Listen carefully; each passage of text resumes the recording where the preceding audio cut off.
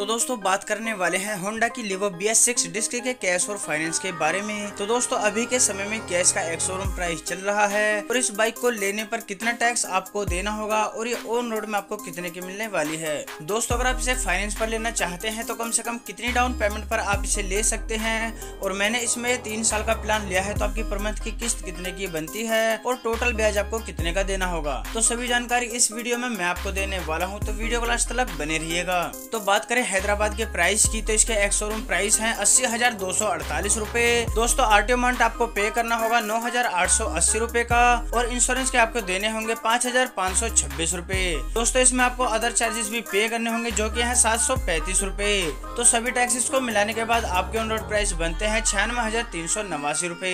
तो दोस्तों, ये तो हुए इसके कैश प्राइस की बात तो चलिए बात कर लेते हैं इसके फाइनेंस की। अगर आप कराते हैं इसकी डाउन पेमेंट सोलह हज़ार तीन सौ रूपए की तो आपका लोन अमाउंट निकल कर आएगा अस्सी हज़ार नवासी रूपए का। दोस्तों, अगर आप इस लोन अमाउंट को तीन साल यानी कि छत्तीस महीने के लिए फाइनेंस कराना चाहते हैं तो इलेवन पॉइंट वन का रेट ऑफ़ इंटरेस्ट लगाने पर आपकी पर मंथ की किस्त बनती है दो हज़ार छह सौ छब्बीस रूपए की।